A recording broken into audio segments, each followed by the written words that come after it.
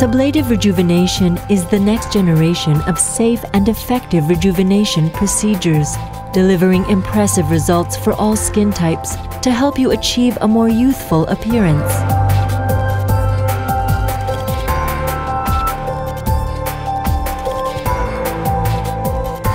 It treats those mild to moderate wrinkles, red and brown spots, acne scars, and textural irregularities that develop with age. Sublative rejuvenation requires much less downtime than other, more aggressive procedures, and you will be able to quickly return to your normal activities.